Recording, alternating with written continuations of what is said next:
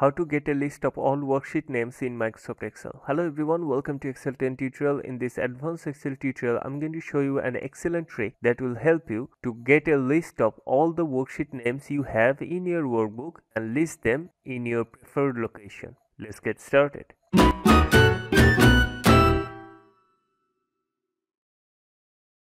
Take a look at this workbook. We have three worksheet name. Let's assume you have more. Uh, let's create a few more worksheet. So now we have several worksheet names here and in this sheet worksheets here I want to make a list of all the existing worksheet name we have in our workbook. So I'm not going to use VBA for this I'm going to use an excellent trick that will help us to get a list of our worksheet name in any cell or in any range of cells okay? For that I'm going to click on the formula tab click on name manager and click on new now I'm going to give a name here. I'm going to give a descriptive name here. So I'm going to write W-O-R-K-S worksheet name list. And here in the refers to section I'm going to write formula which is equal to replace.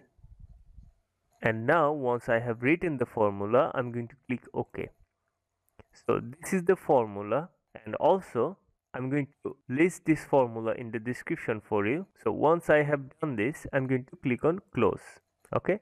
Now here I'm going to write another formula. So once I write the formula in cell C5 I'm going to get all the list of our worksheet name in this column.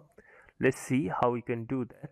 Write equal to first I'm going to write index and in the array section or the first parameter I'm going to write the name of our name range okay which we have written.